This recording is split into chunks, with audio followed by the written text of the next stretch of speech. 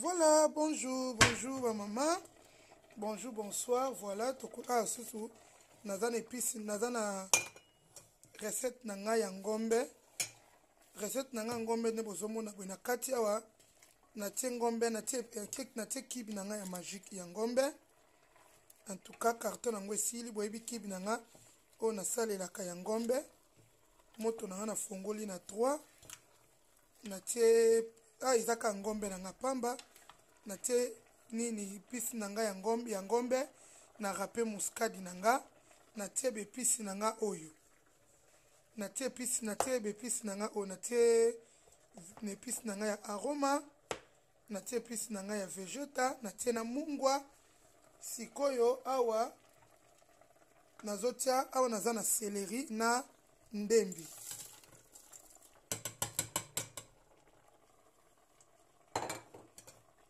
seleri na ndembi awa naza na ai na matungulu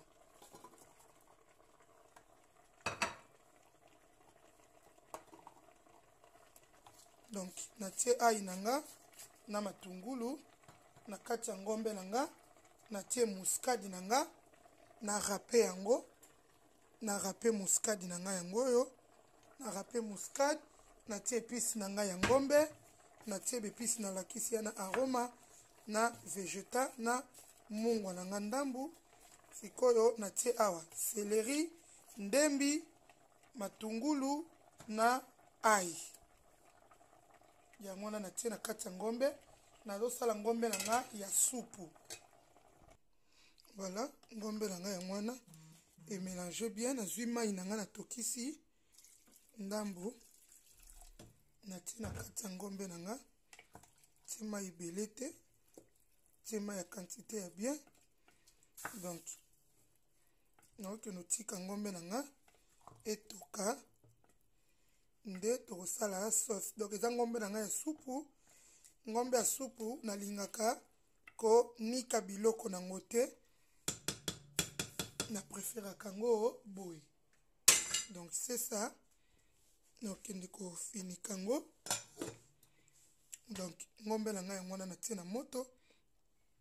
natiki yango sikoyo ebanda kotoka matisi moto na ngai na 5 natiki ngombe na ngai etoka donc a suvre voilà ngombe na ngai yango ezotoka donc yango wana ezotoka napasaki ngombe na nga bien nga ngombe na nga nasomba yango be epai ya bandibu nga bangombe ya bamagasin bakufela nde o te ezalaka go te donc donc nafini sikomoni naofina ai donc ai yango wana natiaki ai mibimba sikoyo nazofina yango après kala mingi te na oleka na ko kalinga ngombe na ngai donc naotika no mai na ngai fo mai oyo mai oyo fo ekita mai oyo fo ekita esila donc nabandaki kofina baai na nga donc nazoluka baai ozoluka baai ofini yango mpo etikala mibimba te kozala prese ya kotiaka mungu ebele te kibe ebele te ifo koyeba donc ai mosusu yango oyo donc efinani voilà donc sikoyo natika yango ebanda kotoka donc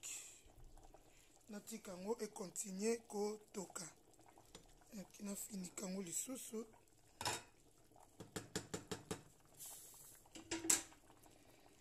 natika yango etoka asuvre tokutani yango wana nalongoli emoni ekaningami makasi makasi te ekalingami normal donc naye kolongola yango yango wana nalongoli nazongisi yango na kati ya sauce nango kuna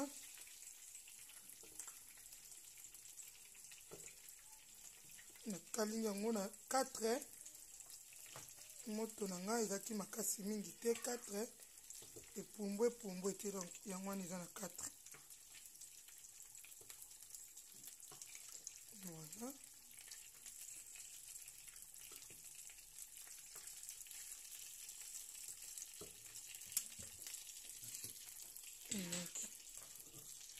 ngoni ntie mafuta na nga mafuta na nga boye yango wana so mm, ngombe na nga sikoyo nakokende ozwa sauce na nga oyo ya tomate natiaki na linzanza wana moke na kati ya tomate na nga nake kosopa yango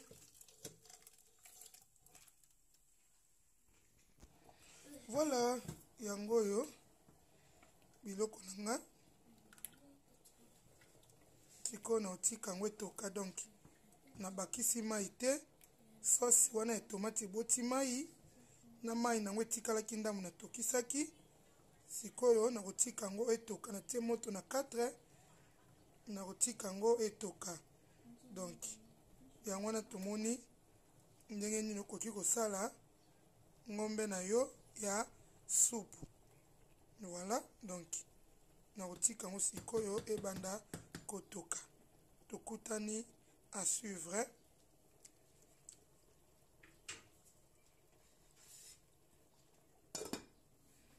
Voilà, tokutani, ciao. Voilà, ngombe na ngai yango ebeli. ngombe na ngai eza na kolia lelo te yango moye na servi na kisani eza te misuni na ngai elembi makati elembi normal ndenge misuni esengaki elemba elembi bebe te nachanzaki na nzungo parce que nazalaki na besoin etoka bien donc voilà yango oyo ngombe na ngai yango wana en tout cas merci na bamama moye natya lutu eza te parceke naolingi esila moto natya yango na frigo voilà donc ngombe yango wana omoni sosi ndenge eza très kitoko donc soki na servi yango bon ah, lobi mais tomoni tala ba batomati ndenge esali donc meka okosepela okozala desu te ngombe yango wana en tout cas merci nzambe apambola biso tu tozaki occasion ya kolanda video oyo nzambe apambola biso tosabone tosabone tosabone To s'abonner vraiment, partager video. soki osabone nzambe akozanga te kopambola yo mpo na kobakisa kaka un plus na oyo oyebi voilà merci nazo continue kobongisa cuisine na nga nazosukola basani awa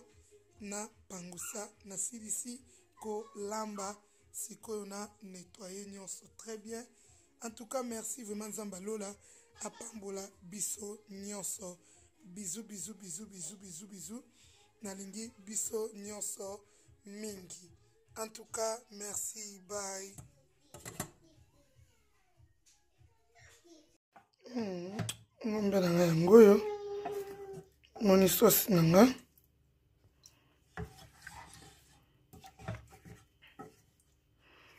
moni mosuni na nga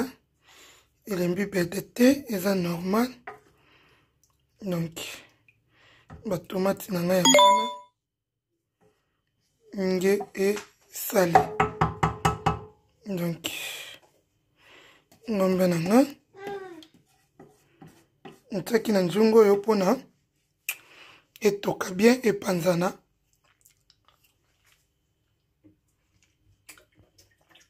omeki mungwa na yo mungwa no soki ekoki c'est bon voilà ngombe na na oliango na fufu à suivre tokotala ndeni na oservi ngombe na nga na fufu en tout cas meka ozala dessus te ndenge nasalaki wana soki omeki kaka en tout cas ozala dessus te asuivre asuivre totala ndenge nini tokolia yango na fufu tosabone tosabone partage video